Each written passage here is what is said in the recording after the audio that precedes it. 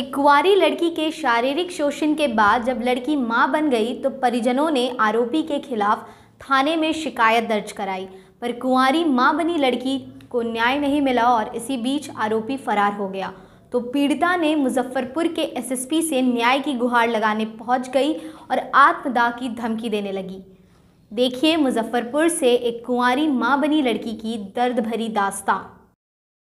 बिहार के मुजफ्फरपुर के बोछा थाना इलाके में शादी का झांसा देकर एक लड़की के साथ एक युवक ने काफ़ी दिनों तक दुष्कर्म किया और जब लड़की गर्भवती हो गई तो आरोपी युवक ने शादी से इनकार कर दिया। बिन ब्याही माँ बनने के दंश से पीड़ित लड़की ने मामले को लेकर न्याय की गुहार लगाने बोछा थाना पहुँची और दुष्कर्मी युवक के खिलाफ मामला दर्ज कराया। लेकिन सुशासन की सरकार में दुष्कर्म के बाद गर्भवती पीड़िता न्याय की गुहार लिकाती रही, पर थाने ने दुष्कर्मी युवक के खिलाफ कार्रवाई नहीं की। थाने का चक्कर लगाकर थक गई पीड़िता को जब न्याय नहीं मिला तो अंत में थक हार के सीनियर एसपी के पास पहुँची और कहा कि उसे दुष्कर्मी से न्याय नहीं मिला तो नवजात संघ आत्मदाह कर लेगी।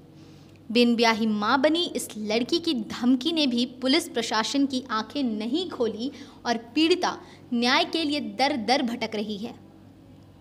आपको बता दें कि शादी का झांसा देकर एक दुष्कर्मी ने एक नाबालिग से शादी के नाम पर डेढ़ साल तक शारीरिक संबंध बनाया। इस दौरान नाबालिग गर्भवती हो गई। इसकी जानकारी होने पर पीड़ित परिवार ने पहले ग्रामीण स्तर पर मामले को पंचायत कराने की कोशिश की, पर दुष्कर्मी शादी से इनकार करता रहा। लिहाजा पीड़िता के परिजनों ने बोछा थाना में मामला दर्ज करा दिया, पर पीड़िता को पुलिस ने भी कोई मदद नहीं की कि तब न्याय की आस में पीड़िता की माँ ने एसएसपी से न्याय की गुहार लगाई। न्याय नहीं मिलने पर पीड़िता बच्ची के साथ आत्मदाह करने की चेतावनी पुलिस को दे दी। नहीं सुनवाई लिया। सुनवाई नहीं लिया है। अब हमारी बेटी के साथ नहीं होगा सौलिया तो हम हम अपना जान कुर्बान कर लेंगे।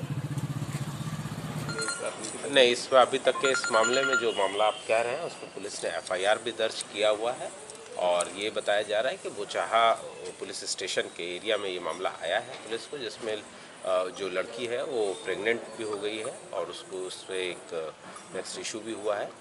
और इसमें जो है उसने इसके बाद में जब पूरा मामला हो गया उसके बाद में उन्होंने इसमें एक मामले में एप्लीकेशन दिया जिसमें जो है पुलिस ने एफआईआर किया। ये नेम्ड एक्यूज का नेम पर्सन और उनकी फैमिली पर्सन का नाम बताया गया था इसमें जिसमें एक पर्सन को अरेस्ट भी कर लिया है।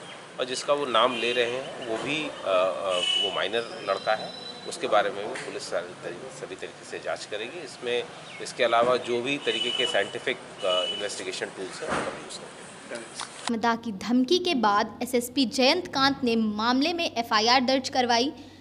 पुलिस आरोपित दुष्कर्मी की गिरफ्तारी के लिए छापेमारी कर रही है। खुलासा के लिए इशिका के साथ मुजफ्फरपुर से संजीव कुमार की रिपोर्ट।